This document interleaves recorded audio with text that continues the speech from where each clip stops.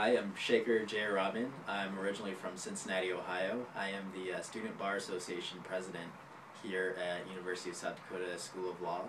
Um, I came here because of the small uh, class sizes.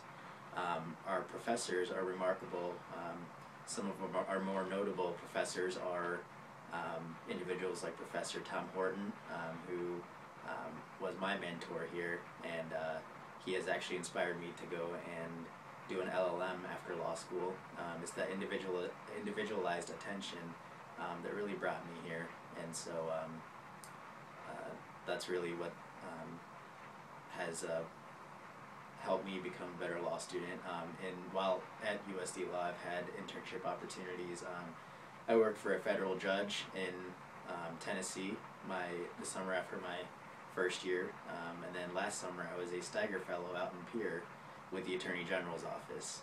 So uh, those are some of the uh, uh, remarkable things that um, I've been able to do since I've come out here, and um, they've really helped shape um, who I aspire to be um, in my legal career.